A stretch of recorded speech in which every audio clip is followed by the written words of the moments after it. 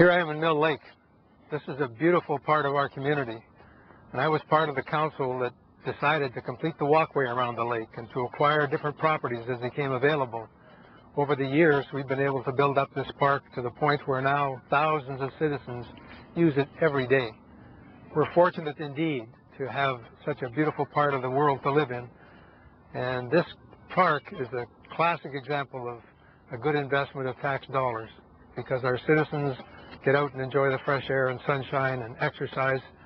This and our Discovery Trail system are going to allow us to continue to enjoy this community for years to come.